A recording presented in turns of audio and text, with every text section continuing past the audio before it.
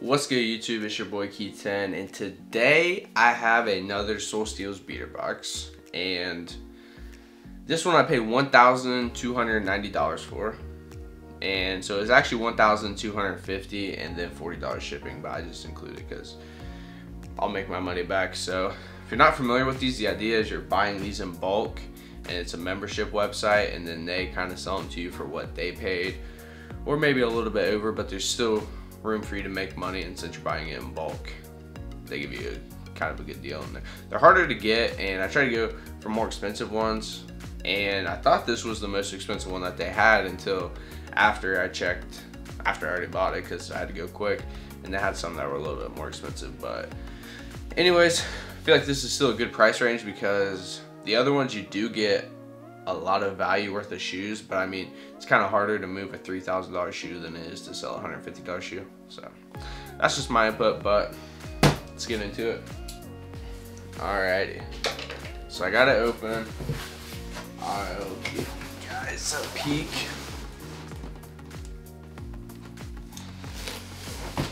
Alright, so there's none without a box, which is good. So grab these out. Oh, okay. A damage box, but this is off-white Converse.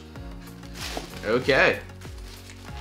So these are brand new off-white Converse and I had just got one of these in a couple uh, boxes prior, probably two boxes. I mean, this is a smaller size, but still worth some good value. You can see they're dead stock pretty nice. These do fetch some value. Probably, I don't know, the other size was like, they had no box, but these are probably five, six hundred bucks. But, I mean, it's got a damaged box, but you know, I mean, it's not too terrible. I've seen worse. So, that's a pretty good shoe to start off with. Next, we have a size 9 black Revenge Storm. Okay. Alright. So, I had a couple Revenge Storms a while ago. These are pretty clean. Just black and white, brand new. You can see the bottom, so. Not bad. This also has like a damaged box. So, I don't know if it's picking that up or not, but two of them with damaged boxes. Not bad. It's honestly better than having them without the box. It's easier to sell them like that, so. Next shoe out is a size 4 Adidas NMD R1. Let's see that box label. Okay. Super small size, but these are brand new, so hopefully it won't be uh, too hard to sell, but uh, I mean, me personally, I would not wear these, but these are actually, I mean, they're kind of nice. Just, uh, I don't know what exactly you'd wear these with, but I don't know. I mean, I'm sure someone wears them. But these are small. And another damaged box. You can see that corner. And this, this is, it look like it got punched or something, so if it didn't have a damage box, it would be better, but I mean, at the end of the day, it'll still sell, just might take a little bit longer, so. I mean, that's probably doesn't go for much, probably, I don't know, maybe a hundred bucks, but it'll be up on the counter, so you can see. The next one is a Jordan 11 low in a size 6Y. And this box is also damaged. So, here we go. Let's see what this is. Oh, okay. So we have some Jordan 11 lows. These are nice. Brand new. Let's check those out. Yeah, these are clean. These are clean. And Jordan 11s move pretty well. You can see they're brand new. They move pretty well, but I don't know about grade school and also having a damage box. So that is another damage box. So, so far we are four for four with damage boxes. So just falling out of here. Bro. Another damage box. I don't know if, you, if the camera's picking that up or not, but it's a Jordan 1, size of nine and a half.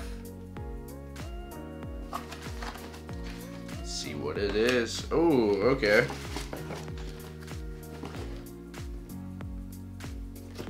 All right, these are brand new. Yeah.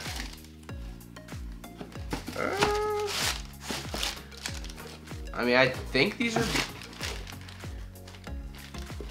I think so, but they don't have any extra laces or lace bags. I don't know. I don't know. I'll have to look at them after the video. I mean, this. Yeah, I would say they're brand new because that size tag's still in there. Hasn't been pressed down, so. I don't know. Hard to tell. Came out in 2015. It's got like that glittery look almost up here now because the age, but clean shoe.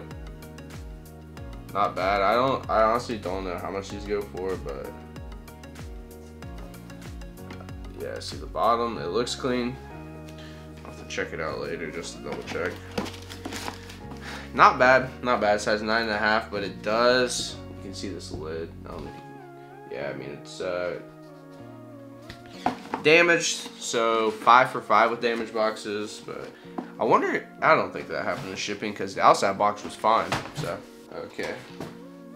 Right here we have an Air Jordan 1 mid. Says, oh, okay, all right. These are brand new. It's like uh,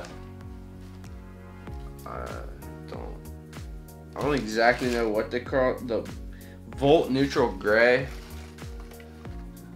So these are pretty clean.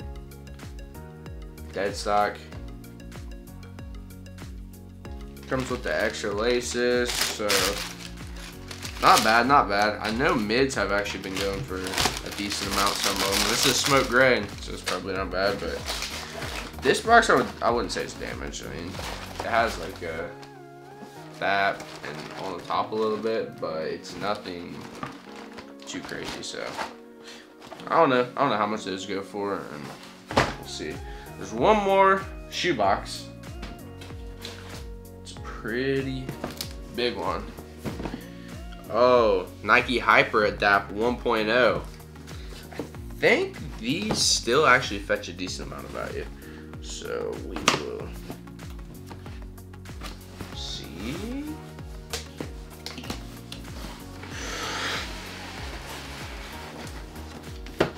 Okay. See what they are. Okay, I do not know the name of this silhouette, but these are the Nike Hyper Adapt 1.0s. And can't tell if they're worn or not. I don't know, they still have the StockX tags, so I don't know, I mean I have seen people wear them with the StockX tag.